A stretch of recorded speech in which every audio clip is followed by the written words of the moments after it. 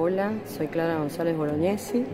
Estoy en la inauguración de una muestra colectiva de docentes de, la Escuela de Bellas Artes de la Facultad de Humanidades y Artes de la UNR en Rosario.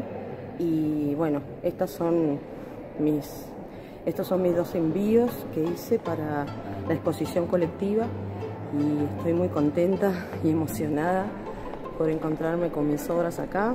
Eh, hago una panorámica eh, del espacio cultural universitario donde están expuestas estas obras.